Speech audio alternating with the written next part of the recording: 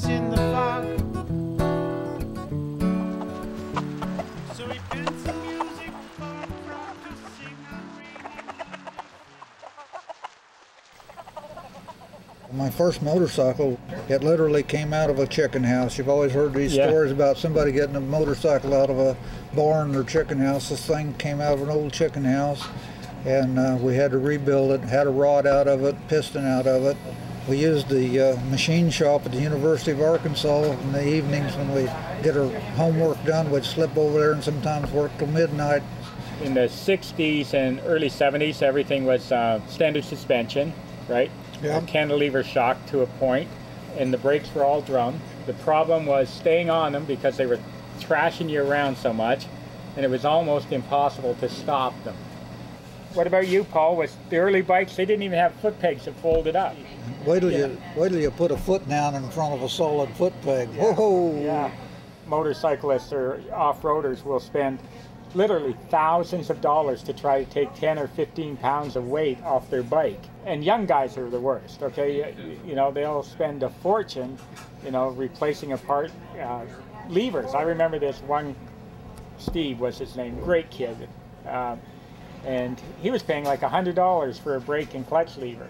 some young kid come up to him and said, "Hey, I just bought a new motorcycle and this and that, and I've got three hundred dollars left over. What do you think I should spend it on? Make me faster?" And I looked at him and told him, three hundred dollars worth of gas through it will make you a lot faster."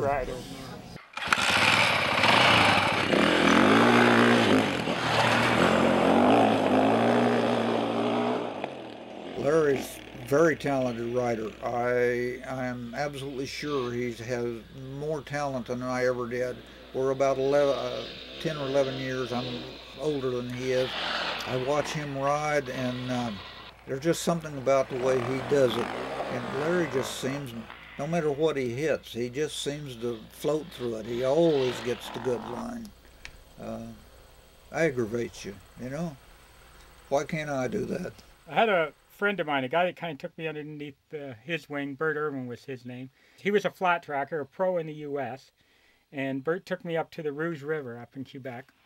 And all we did the, the whole day was learn how to ride dirt roads very fast.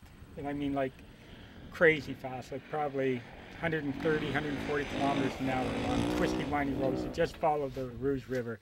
And uh, all the steering was done with the throttle rider position, don't even move the bars. So you drive the whole bike just like a flat tracker, skidding all the time. It was just one great big afternoon of a controlled skid. My first real bike experience, big accident on a bike, big incident, was I was four years old. And there was this red brick bungalow with this porch on it with uh, cement steps going down to the sidewalk. I'll never forget. And the prettiest little blonde girl, she probably was three, I was four, maybe going on five. And we were riding tricycles around up on top of this porch. And I looked over at her and I thought, I bet I can ride my tricycle down those steps.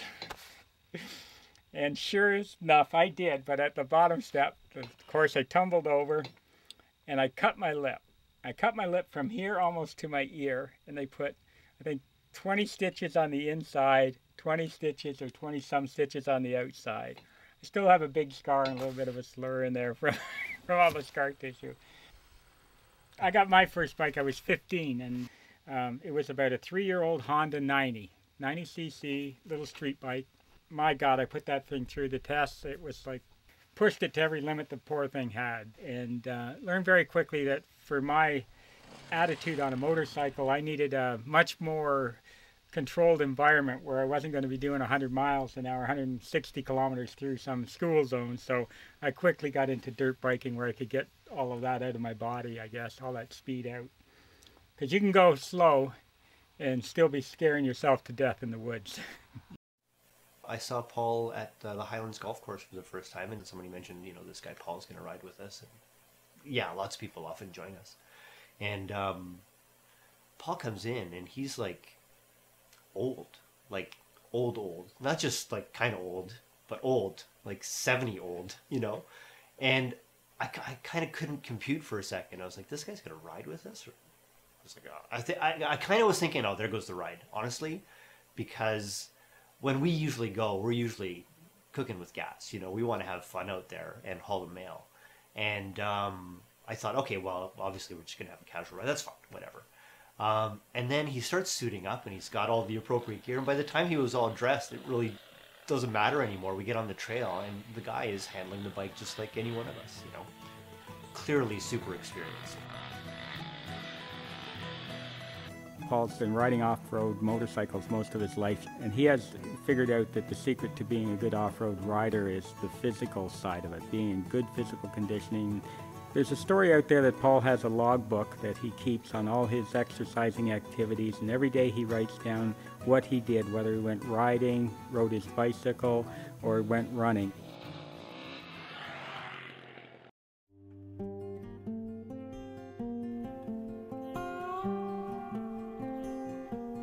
Well, the doctor told me with my balance problems that I shouldn't be riding, and uh, they actually told me that 10 years ago when it first started with this ear. Uh, he didn't think I should ride my bicycle, he didn't think I should ride the motorcycle, and there are times with this type of disease when you have the very violent spinning, yeah, you need to be careful because it could hit you, but I'm at the point now where mine is just a nuisance. It's a merry-go-round feel. It's a not quite connected, a bad hangover feel, I guess. And, and uh, uh, sometimes it's not a lot of fun, but it's getting better, and it's got to get better. I mean, you can't quit, right? Get on with riding or get on with dying, one or the other.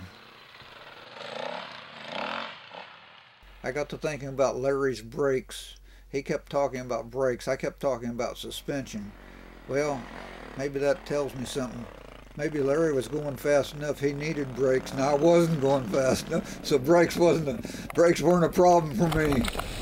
Yahoo! Good go!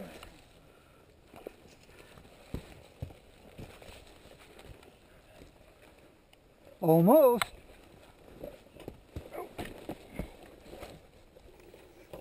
I want to know why my attitude is so positive while I'm while I'm riding. I don't know.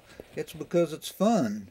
Uh, sometimes, if I'm in a race or uh, even when I'm riding, I'll get disgusted at myself because I I get offline. I don't pick a good line. I miss a gear. I, I do something, and you know sometimes I'll do a little gritching or cussing or you know why did I do that, dummy? You know, but the hill climb yesterday, I ended up dumbing up and not quite making it. And but hey, what we were doing out there was we were having fun, and a little bit of it was poor maintenance on my part. I didn't have my auto clutch set up quite right, and it it kind of bit me. But it's a hobby. It's it's supposed to be fun. You're supposed to be out there having fun.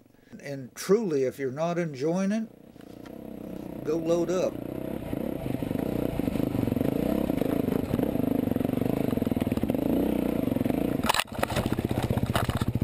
Well, look at that.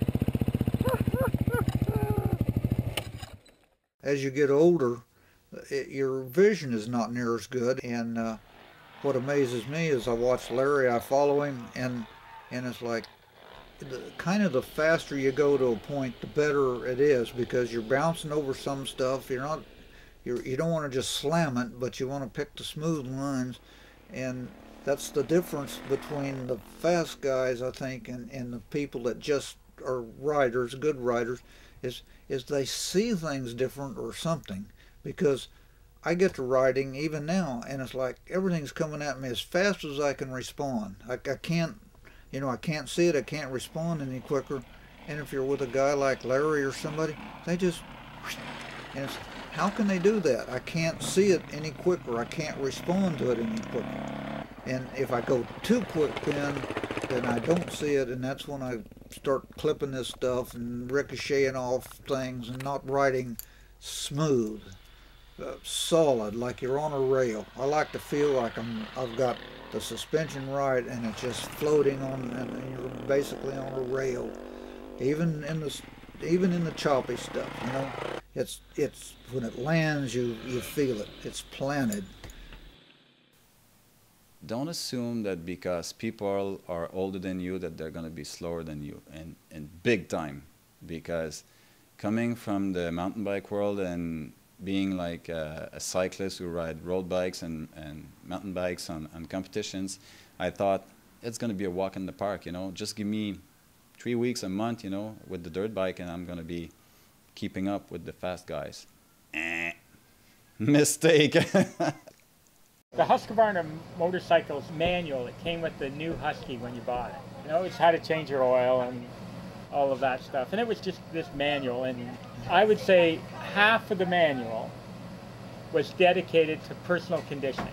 You know, the owner's manual for your motorcycle is half dedicated to conditioning. So I can't, you know, I can't tell any more than that. Like, look at Paul, right? 71. Yeah got the guns. How do you do that, you know? So for guys like Paul and I, and I'm like a decade younger, you know, we still, when we go into a room with, with our peers in age, you know, there's no diabetes here, right? There's none of that stuff, you know. We eat our vegetables. Dr. Curran, Dr. Dan Curran, 225 a lot of them have a uh, are, are, have significant arthritis, so their their knees are really sore and they um, and their hips are sore and they don't move very well because a lot of their joints are worn out. That's probably the main thing that limits people in their 60s and 70s from doing very much. But riding off road is a is a totally different thing. I mean, it it's a incredibly physical experience, and I think it's hard to get a sense for it unless you have experienced it firsthand. But when you're on the bike and you're trying to balance this 400 pound machine as you're weaving it through the forest and you're trying to avoid obstacles and lift the wheel up to get over up a steep hill climb and and the bike despite the sort of modern suspension is getting pounded every which way. And you're standing the whole time and your whole kind of core is contracting and you're trying to make sure that you stay balanced on the bike which is again going back to the Meniere's thing that's an amazing thing that uh, Paul can do that and stay balanced because that's really his problem is the balance issue. But uh, um, but that whole experience of riding on a trail, within about 20 minutes, if you haven't done it before, a new rider would be absolutely cooked. The best way I can describe that is to use to use myself as an example because I've I've been riding off road for a couple of years and one of the things I noticed very quickly is that I would get tired really quickly and I was unable to finish uh, a, a, trail or unable to finish a day without without really slowing the group down. Um, so I had to start training and running and uh, and uh, for about a year I had to train on a treadmill up to the point where I could run 30 or 40 minutes without stopping every day before I got to the point where I could ride and keep up with guys like Larry and Paul, which which uh, really surprised me and I think surprises a lot of people when they don't know how, how hard it is to ride off road.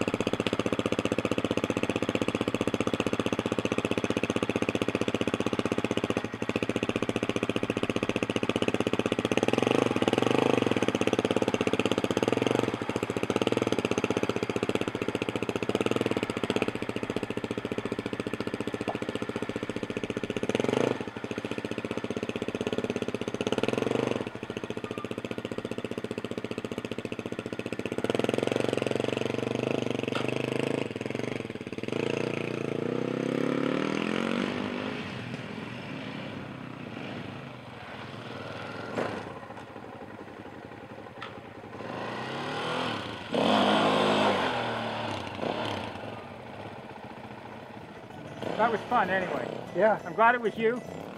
Sorry I dropped my bike. Yeah, you should have thrown me a tow rope. I threw you a rock. It was, you were riding too slow. Had nothing to do with rider ability or No, it had else. nothing to do with rider ability. Actually, I was in second gear and I should have been in first. Probably the second or third oldest guy in a club of 275 total members, right? Um, so, and I've made tons of friends. My friends are 30 and 40. I don't have any, I don't have any close 50, 60 year old friends that don't have motorcycles. I don't have them. I don't have any old people friends. nor do I want any. you know, Well, it- except for you know, Paul. Yeah. a good friend of Paul's of mine died here a year and a half ago, and Steve Garnsey, um, being out in the trail on a nice afternoon and falling over and having a heart attack and dying. I'm okay. I talked it over with April, um, and my wife, and uh, she's okay with it. I'm okay with it, and the family doesn't suffer. You really don't suffer too much. Um, you can go out kind of with. Uh, a smile 30 minutes ago on your face, you know, and There's so I, I think I'm I, I'm pretty comfortable with that, you know. There's, there's, there's one, one side of that story I never considered, and, and I happened to be the guy that was with Steve that day that he had his heart attack. Is uh, I've often said, I've, I've probably said it a thousand times, you know, what a way to go, just out there riding and, you know, whatever it happens to be, whether an accident or a heart attack or whatever, you know, just check it out on the trail. Well, that's fine, and, and I still, to myself, but what I didn't realize was the stress that it puts Other on the people. person with you, and I, I still to this day wonder, did we, did I do the right thing? And I can't second guess it, I can't change it, and I'm sure we did the right thing.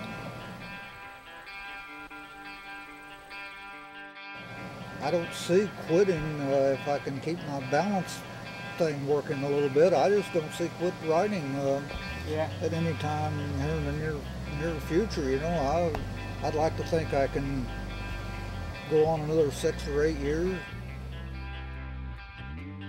I look forward never stopping. My dream would be to be able to ride right up until I die. I cannot even imagine an injury that would keep me off the bike. I think I could ride with one arm.